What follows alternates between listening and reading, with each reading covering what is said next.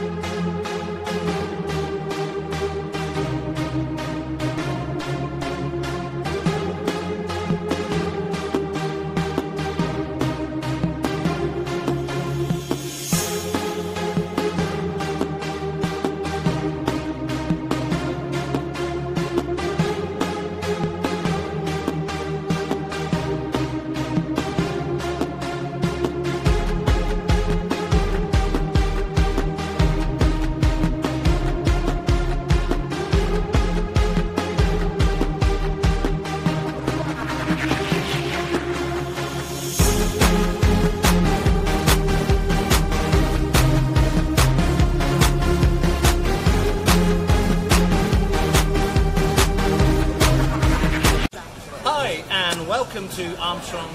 Leap Part 2 of Nanjing. I'm your host, Robin Armstrong, and we've got cameraman Vito as well. Um, now, here we are in Fuzimiao, which actually means Confucius Temple in Chinese. It's famous for its shops, its twisty little streets and alleyways, which we'll be showing you later. Okay, have a look at this street. Pretty busy. It's a very touristy and popular destination, this part of Nanjing. Um, later, coming up, we'll be visiting Confucius Temple. We'll be looking at the canals that make Nanjing quite famous. And also, uh, at the later part, we'll be looking at a duck duel. Now, this has been going on for thousands of years. What's better? Peking duck or Nanjing duck? We'll be looking at that later. Also, at the very end of the program, we'll be eating something called teppanyaki, where the food is cooked in front of you, Japanese style on a flat griddle. So join me and Vito for part two of An- Armstrong's Giant. Join us later for Armstrong's Giant Leap Nanjing Part 2. That's two for you dimwits in French. Au revoir. Welcome back to Armstrong's Giant Leap. Now, as I promised earlier, we're going to be talking about the Great China Duck debate. Which is the best tasting duck? On this side, we have Beijing duck, better known to us in the West as Peking duck. On this side, we have Nanjing duck, better known to us in the West as Nanjing duck. Okay, so I've got a couple of likely lads here. One's from Beijing. Hello, sir. How are you? Very good. One is from Nanjing. We're going to decide this raging argument that's been going on for thousands of years. Finally, in the streets of Nanjing. Here we go. Right, I'm not going to be the judge. I'm going to get a duck expert in to be the judge of this. His name's uh, English name is Tony. Tony, welcome. If you could just uh, be the judge and ask them why their duck is better. Okay? Yeah. Good luck, Um, guys. A final decision. Let's start. Shall we? You first.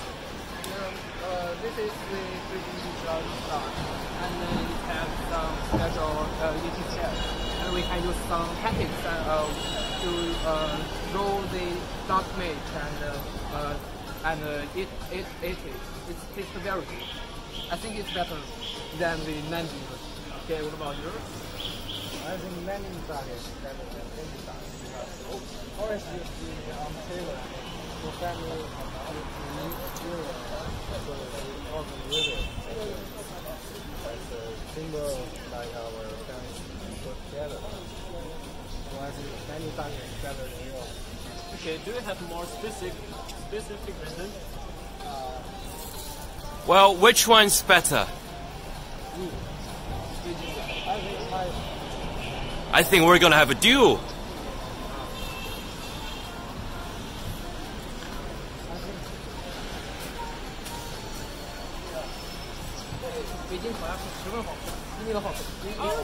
He said something about his grandma and a duck fornicating.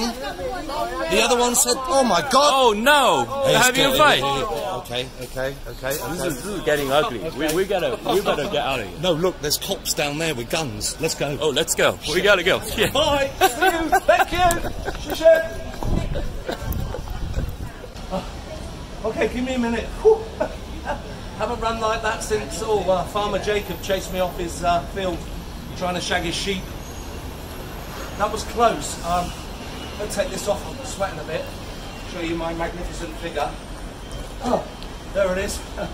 Now, I'd have hated for us to get arrested, mate, for abusing cooked ducks on the streets of Nanjing. In China, it's probably a capital offence. Can you imagine entering like a strict prison in China and they're saying, what are you in for? And you say, uh, abusing a duck, it would be like, you're my bitch now. No, don't want to get into that scene. Uh, anyway, what about that duck duel? Pathetic, wasn't it? It was like handbags at dawn, you know what I mean? Or ducks at dawn, uh, if you like. It was like, uh, uh. Reminded me of an old James Mason film. Gentlemen, choose your weapons. The duck today is particularly foul. Anyway, Vito, saddle my horse. I feel like a ride. 妈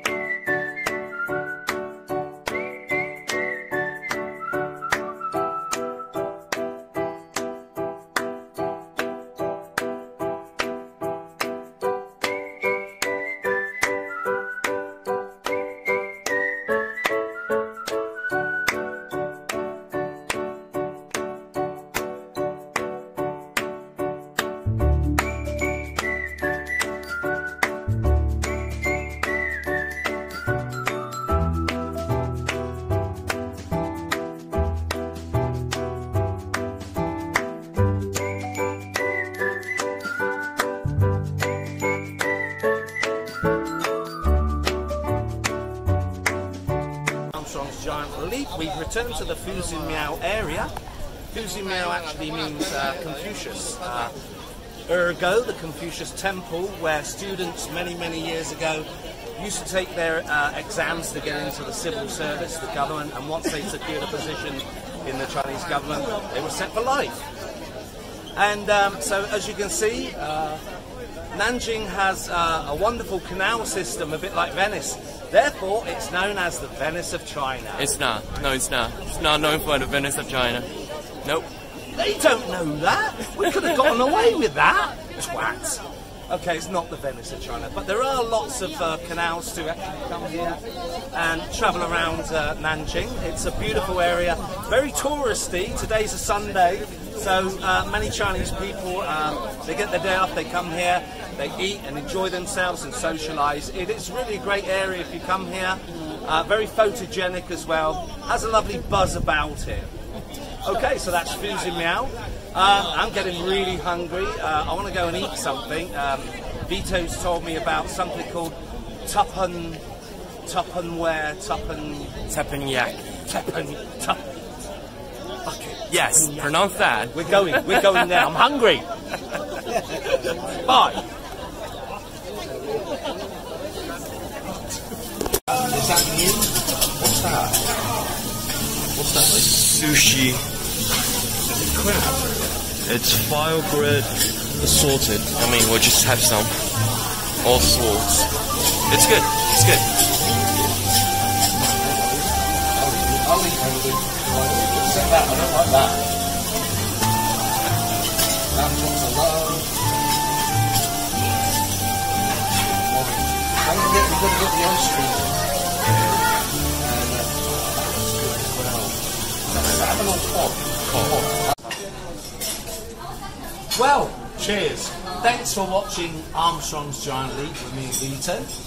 Um, Vito's my long-suffering uh, cameraman, and he will be more long-suffering as Armstrong's Giant Leap proceeds. Um, we've eaten so much food, I'm going to need to get in a wheelbarrow. Someone's got to carry me out there. Vito, can I get a biggie back?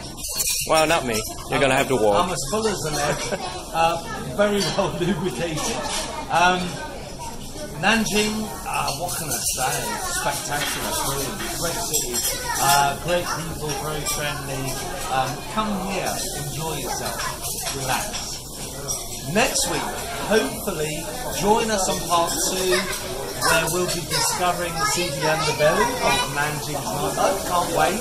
We'll be looking at hotels with 32 suites and a canopies. What does that mean? Cheers. We have